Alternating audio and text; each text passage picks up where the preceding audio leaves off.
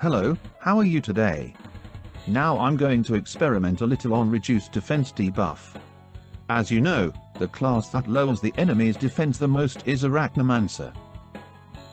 Arachnomancer skill 5, Toxic Adrenaline can reduce enemy defense by 100%.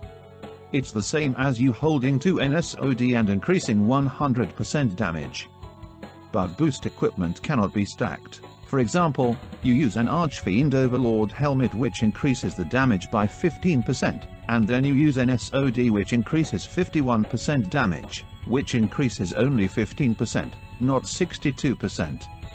But buffs from skills and items can be stacked, such as Awe Enchantment, Awe Blast, which can decrease enemy crit change and enemy defense by 15%, and when combined with the Arachnomancer skill, it will be 115% reducing the enemy's defense.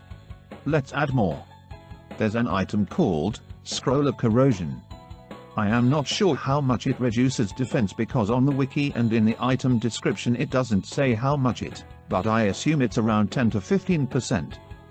And when combined with Arachnomancer, Awe Blast, and the Scroll of Corrosion, it will become 130% reduce enemy defense. Let's test how effective the debuff reduces defense.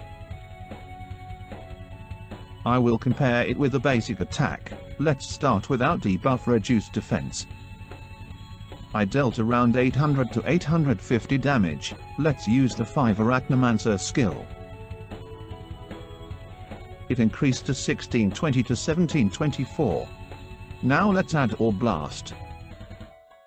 And combine it with skill 5, it increases from 1724 to 2240, let's add Scroll of Corrosion.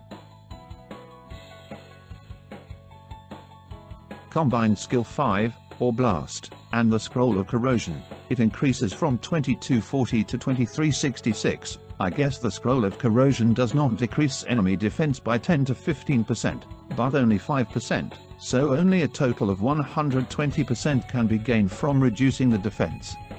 So this is the result of this experiment, if this combo is used to support your friends, the damage given to the enemy must be very high when combined with other classes such as Void High Lord. I hope you enjoy this video, thank you for watching, and let's meet again in another video.